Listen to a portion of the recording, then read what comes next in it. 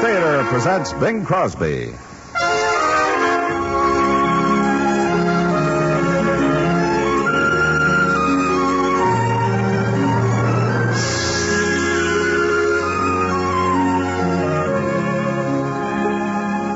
From Hollywood, the Mutual Network, in cooperation with Family Theater, presents Wally. And now, here is your host, Bing Crosby.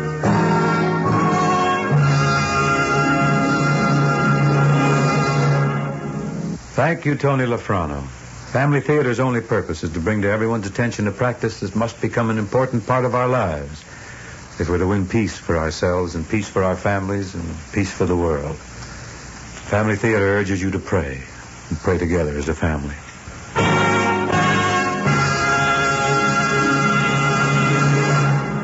And now to our transcribed drama, Wally, featuring Alan Reed as Radcliffe.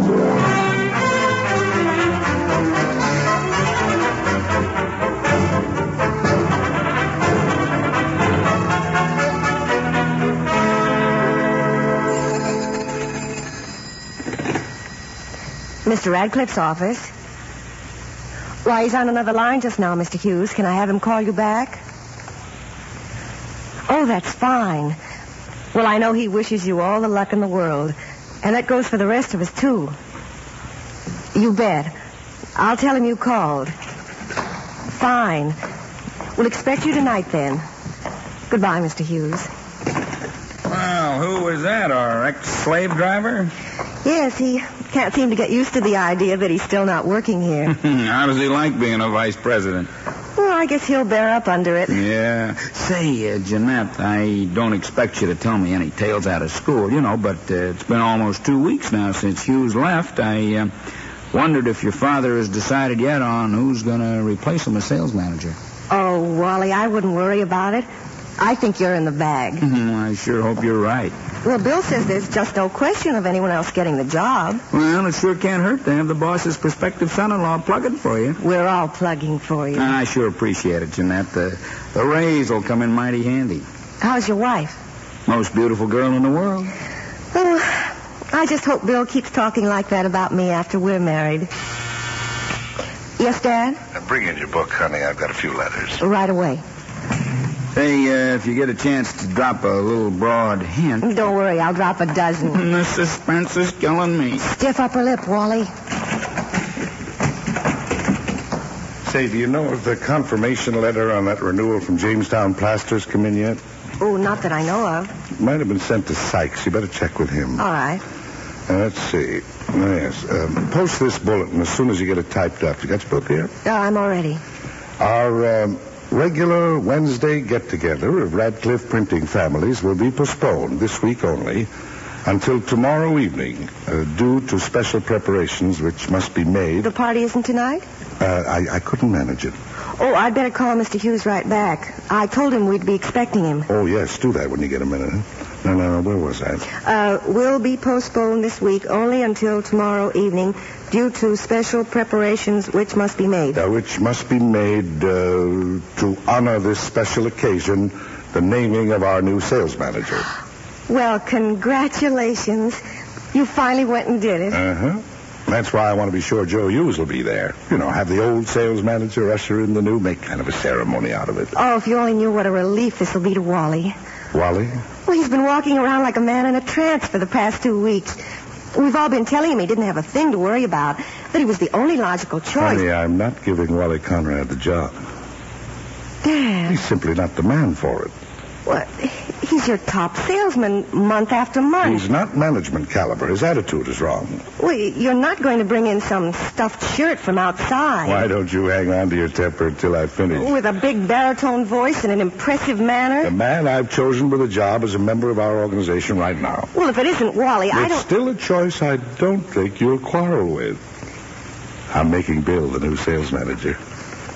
Bill? I thought that'd quiet you down. And you wait and see. Bill's going to be a crackerjack. He's intelligent. He's got the right company attitude. And uh, just incidentally, this uh, promotion might make it possible for you two kids to get married a little sooner.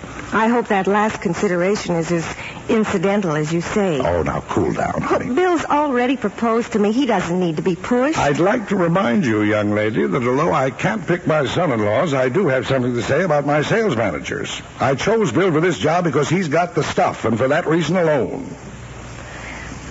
Have ha- have you told him about it yet? Mm-hmm. About half an hour ago when he phoned in from American Break. Uh, you put him through to me. Yes, but uh, I didn't talk to him afterwards. Well, he said he was on his way back here. I guess I should have let him break the news to you. What did he think of the idea? Oh, it was quite a surprise to him, of course. Only been with the firm four years, actually. I, I think he was a little stunned. You wait, though. He'll take hold. Dad, did he say he'd take the job? Take it? Well, of course he'll take it. How often does an opportunity... But did he say he would? Well, I told you he was a little bowled over by the whole thing, but... Uh, come in. Mr. Radcliffe. Bill, come on in. We were just talking about you. Hello, honey. Jeanette. Dad was just telling me the big news. Uh, that's what I came in to talk about, sir. Now, Bill, I know it's a big responsibility, but you can handle Well, it. Well, Mr. Radcliffe, I've been thinking it over pretty hard for the last half hour. All the time I was driving back here, and... Jeanette, I hope I can make you understand this. I think I understand perfectly, dear. Understand what? What are we talking about? Sir, I... I can't take the job as sales manager. Do you know what you're saying? I don't deserve it. Will you let me be the judge of what you deserve? No, sir, I can't do that. Bill, I love you very much. Well, I don't love him very much. Mr. Radcliffe. Son, this is my company. It's got my name on the door, Radcliffe Printing, and I will be the one to decide who gets promoted around It's here. not that simple, sir. Don't you think you can handle the job? I didn't say that. You think it's too big for you? No, sir, but there are You a got lot some sentimental compunction about Wally Conrad. Is that I it? wouldn't call it sentimental. Well, then what in the name of common Dad, you've asked Bill four different questions, and you haven't let him answer a single one of them. Give him a break, will you? A break. I'm trying to give him a job that pays ten thousand a year plus bonuses. I know that, sir, and I'm proud and honored that you have so much faith in me. You're proud and honored by foot. But it wouldn't work. Yes, I think I could handle the job, and I'm not afraid of it.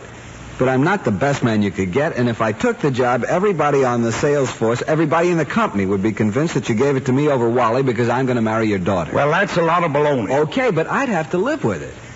Don't misunderstand me, Mr. Radcliffe. I like working for this company, and someday I intend to run it, to sit where you're sitting right now.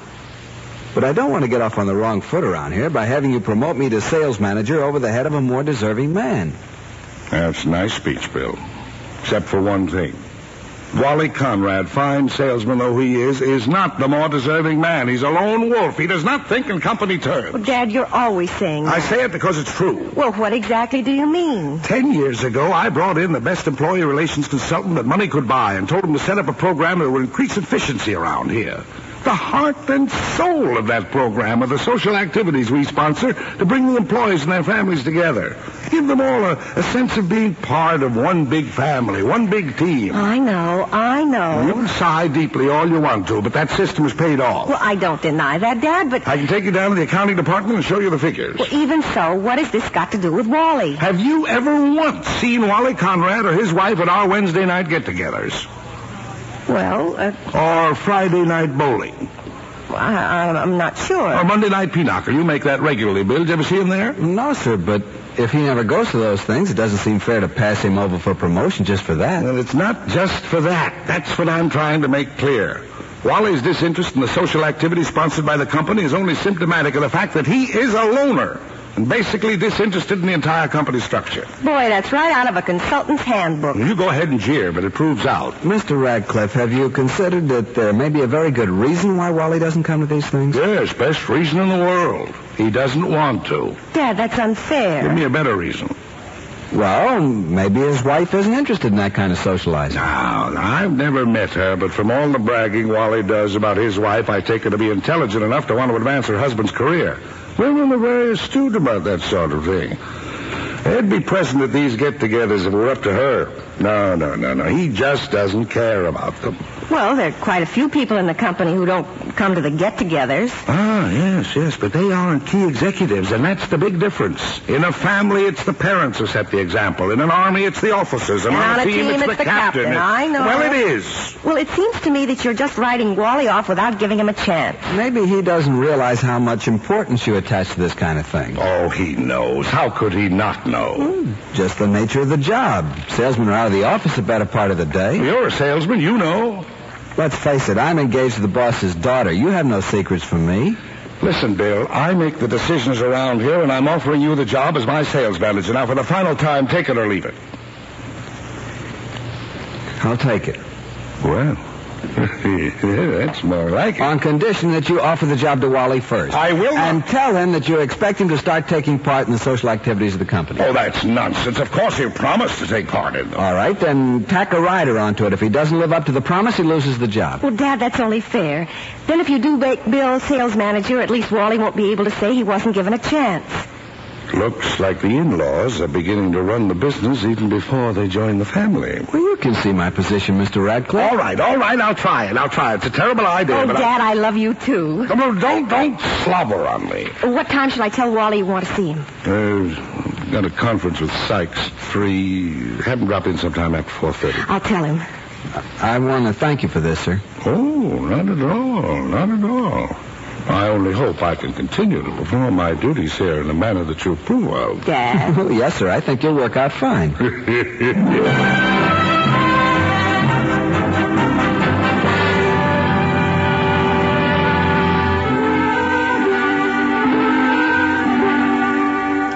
So, Wally, that's the offer.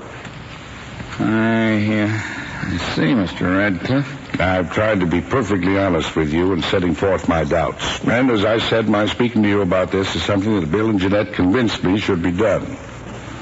Now, I hope, my boy, you understand there's nothing personal in my attitude. Oh, yes, of course. I, I've been very well satisfied working for you. I should tell you that nothing would please me more than if you were really to dig in and become part of the Radcliffe family, so to speak. I have no doubt about your ability, Wally. It's your attitude, your apparent unwillingness to, to belong that has made me hesitate. Oh, I certainly want the job. I want it more than I can tell you. Well, that's half the battle. If you want it, you'll work to earn it. Oh, I'm not afraid of work. I think you must know that. And, well, if you let me take a crack at the managership, I'm sure that in a few months I can swing into the social activities. months. Well, sir, I mean as soon as I've settled into the job and... Wally, what Uh, is the problem on this thing? Is it that your wife doesn't want you to participate in the company's social program? Oh, no, no, no, no. She, uh, I, I wouldn't want you to think Lois was like that. Well, then what is it? I've just told you that one of the conditions of the job is that you do participate in them, and now you tell me that you might be able to after a few months. Oh, well, sir, I think I will. Well, why can't you start now? Well, well, uh, uh, well you see, you see... Look, if you're trying to tell me that it's none of my business, you have a perfect right to. But the Radcliffe Printing Company is my business, and I think I have a right to expect my executives to conform to the policy of that company. Yes, sir. Uh, of course you do, sir. Look, Wally, as a salesman, just one of the force, you, you can be on your own. But as a sales manager, you have to set an example right from the start. Yes, I, I realize that, Mr. Radcliffe, and uh, thank you for the offer anyway.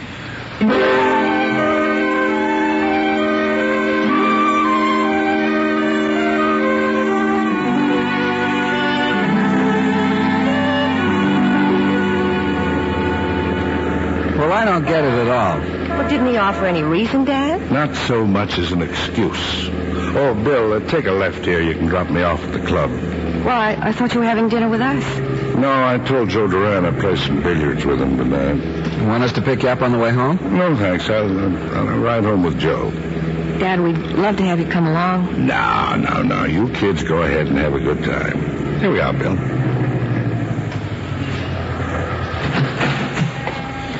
I'm sorry the idea about Wally didn't work out, sir.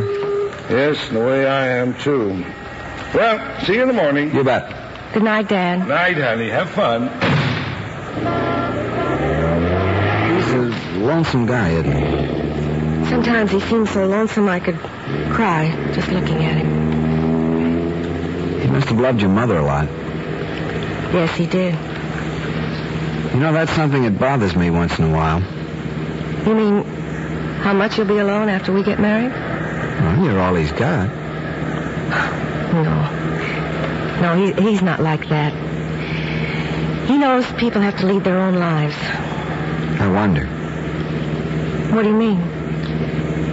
He doesn't seem to want to let Wally lead his. Oh, Bill. Yeah, I know. I've heard your dad's side of the story. I'd like to know Wally's. Do you think we ever will? Well, we got the whole night ahead of us. Hmm? What do you say we drive back to the office and get Wally's address? Well, what good's that going to do us? How can you pay a call on a man if you don't know where he lives?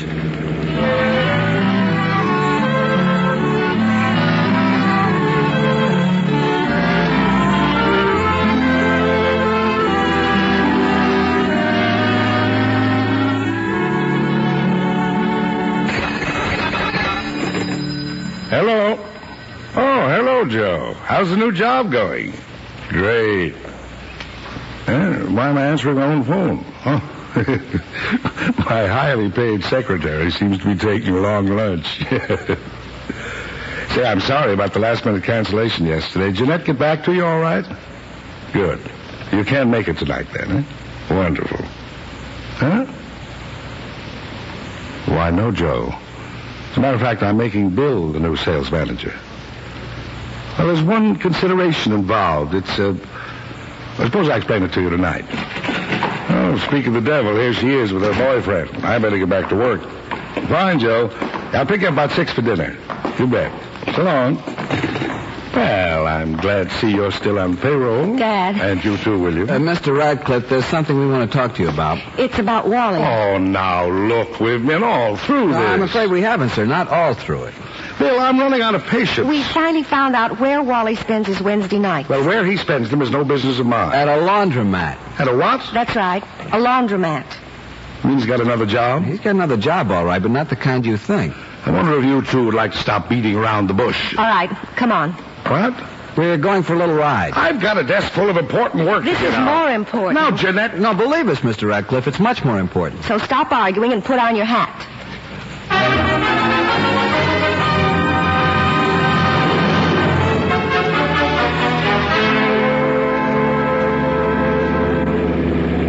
That's Wally's house across the street, second building from the corner. His apartment's on the ground floor. Very interesting. Now that I've seen the sights, would you mind taking me back to the office? Bill and I drove by here last night. We planned to drop in on Wally. Just to see if we could find out what's behind all this. But as we pulled up, uh, right about here, we saw Wally come out carrying a couple of laundry bags. His wife was waving to him from the front window. And so we didn't drop in after all. We thought we'd leave that up to you. To me? That's right. I'm not going in there. Oh, yes, you are.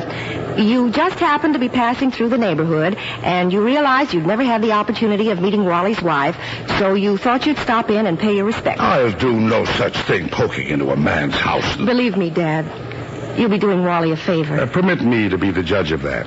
Mr. Radcliffe, you're enough of a judge of human nature to know that people don't do things without a good reason. I've seen that rule broken before. But not by men like Wally Conrad. Dad, please. Wait a minute. Tell me the truth. Do you know what I'm going to find in there? You got a fair idea. Oh, but it's just an idea, and it may not be the whole story at all. I have allowed myself to be talked into more nonsense during the last 24 hours. Dad, you're always saying you want the people you work with to feel like members of a big family.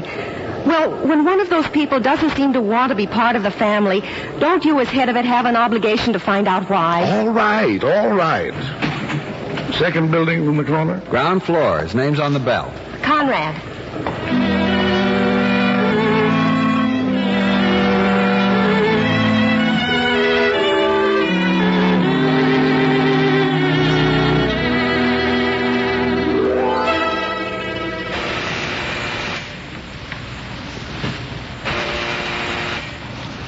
Yes? Uh, Mrs. Conrad? Yes. I'm, uh, uh, my name is Radcliffe. Uh, Mr. Radcliffe of Radcliffe Printing. Oh, uh, just a moment, please.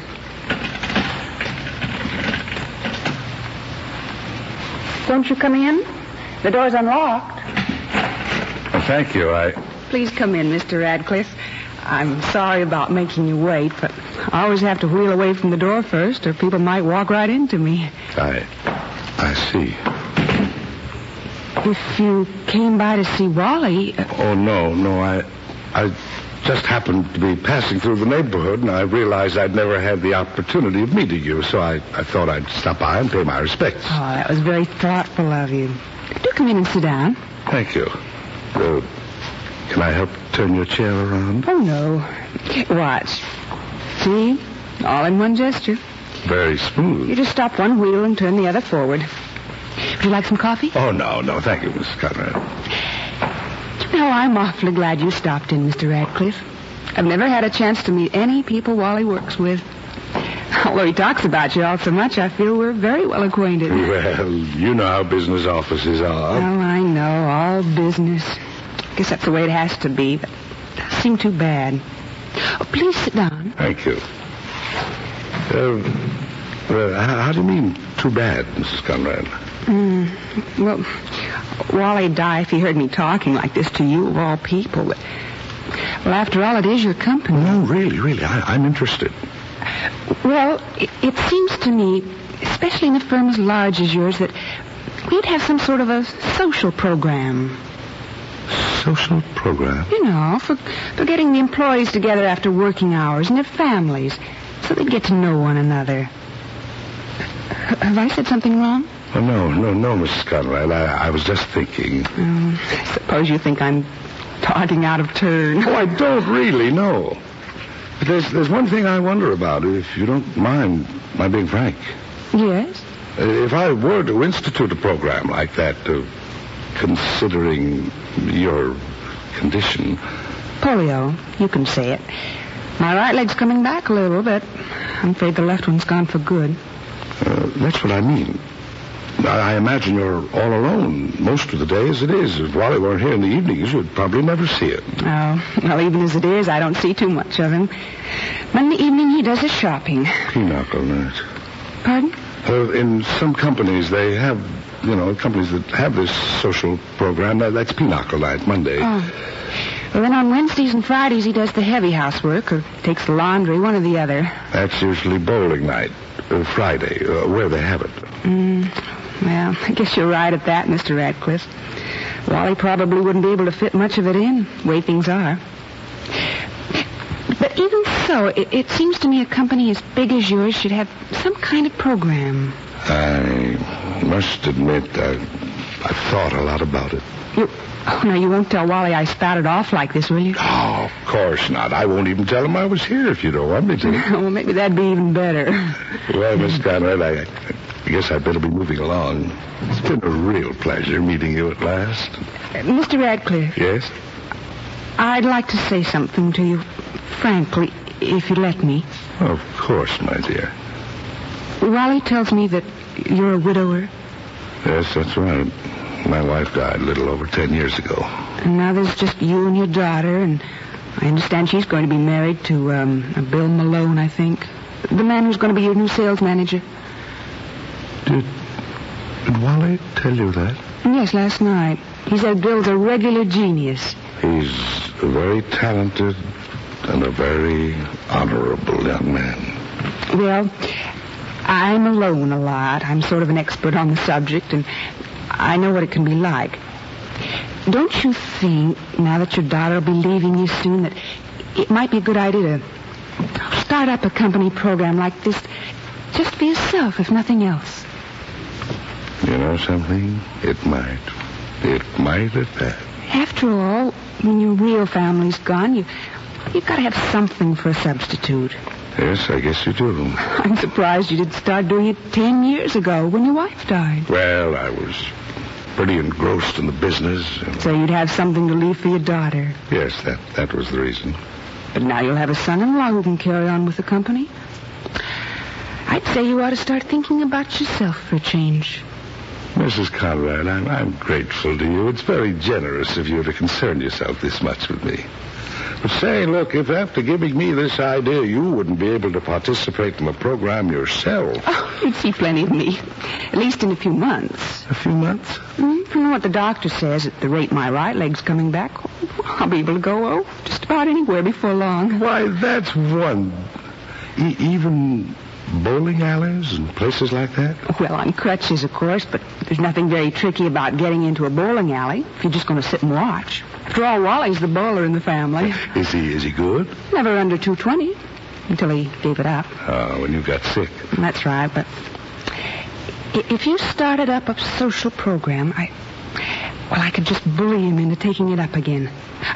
I'd tell him his job might depend upon it. Why, I wouldn't want you to think that that were ever the case. Oh, of course not, but well, sometimes you have to force people into relaxing.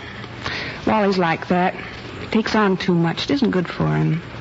If, uh, if he were to take on a bigger job than the one he has now, uh, with the company, I mean, would you be opposed to that? You mean a promotion? Yes, to sales manager. Well, I, I, thought Mr. Malone. Yes, I know there was some talk about that in the office, but most of it came from just one person who obviously has a lot to learn. What? No, I wouldn't object, but but Wally. Wally doesn't know anything about it yet, and I thought we might make a surprise out of it tonight. Oh, but I, I was thinking that about 8.30, some of the people from the office could come by here. I'd be one of them, of course, and maybe on sort of a small scale, we could start this social idea you've got. oh, oh, but there's so much cleaning to do. Oh, I've got a couple of friends out in the mm. car. Oh, now I know Mr. Radcliffe. We could I- pitch in and tidy up a bit. Not too much, of course, or Wally might catch on. And then tonight, you just make sure that he doesn't go shopping or to the laundry or anything like that. And at 8.30, when we ring the front doorbell...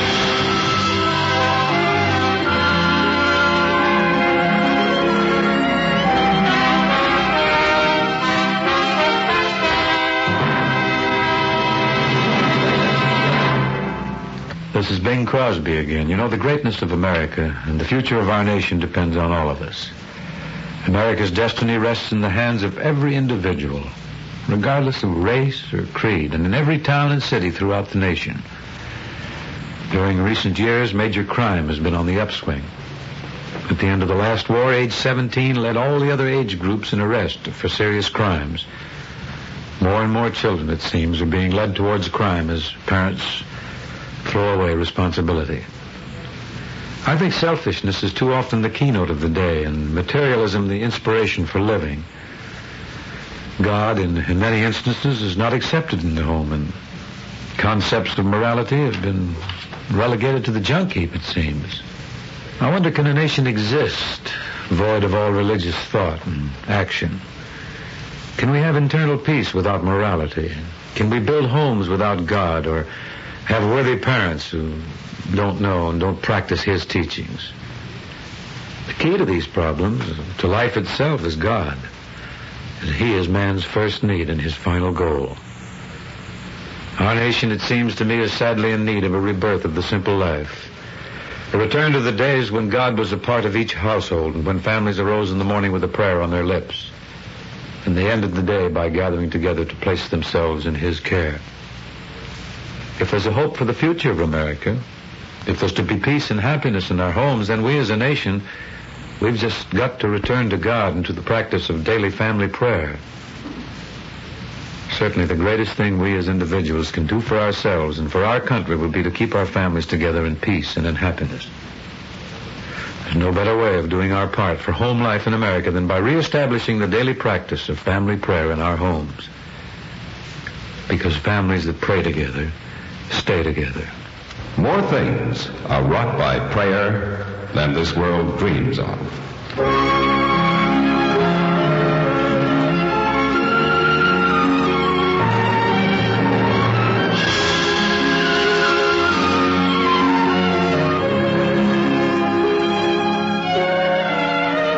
Hollywood, Family Theater has brought you transcribed Wally. Bing Crosby was your host. Featured in our cast were Alan Reed, Herb Vigran, Charlotte Lawrence, Harry Bartell, and Alice Backus. The script was written for Family Theater by John T. Kelly and directed by Robert Hugh O'Sullivan, with music composed and conducted by Harry Zimmerman. This series of Family Theater broadcasts is made possible by the thousands of you who feel the need for this type of program, by the Mutual Network, which has responded to this need, and by the hundreds of stars of stage, screen, and radio who give so unselfishly of their time and talent to appear on our family theater stage. To them and to you, our humble thanks. This is George Crowell expressing the wish of Family Theater that the blessing of God may be upon you and your home, and inviting you to join us next week when Family Theater will present Clipper Ship, starring Gene Lockhart. Dorothy Warenskjold will be your hostess. Join us, won't you?